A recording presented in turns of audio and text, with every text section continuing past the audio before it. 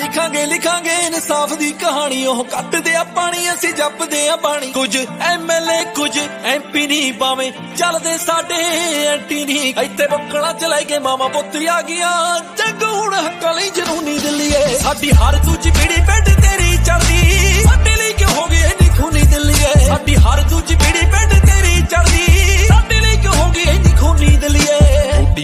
ਤੋਂ ਚੌੜੇ ਠਹਿਰ ਜਿਨ੍ਹਾਂ ਦੇ ਅਸੀਂ ਜਾਗ ਜਾਗ ਰਾਤਾਂ ਨੂੰ ਕਮਾਏ ਹੋਏ ਨੇ।